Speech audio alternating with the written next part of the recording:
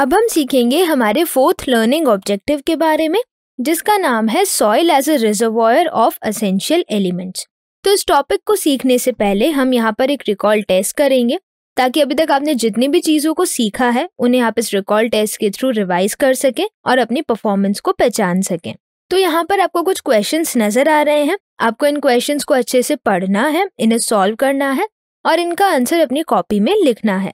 और इसके लिए हम यहाँ पर वीडियो को थोड़ी देर के लिए पॉज करेंगे। इसी तरीके से दो और क्वेश्चन आपको नज़र आ रहे होंगे। आपको इन क्वेश्चंस को भी अच्छे से पढ़ना है सॉल्व करना है और इनका आंसर कॉपी में लिखना है। और इसके लिए भी हम यहाँ पर वीडियो को थोड़ी देर के लिए पॉज करेंगे। तो चलते हैं, आपके आंसर्स मैच कर लेते हैं करेक्ट आंसर्स से। तो हमारे सही आंसर्स हैं ये। Solution one A solution two D solution three B solution four A and solution five B I hope कि आपके पाँचों के पाँच क्वेश्चन सही हुए होंगे और आपके फुल मार्क्स आए होंगे इस रिकॉल टेस्ट में।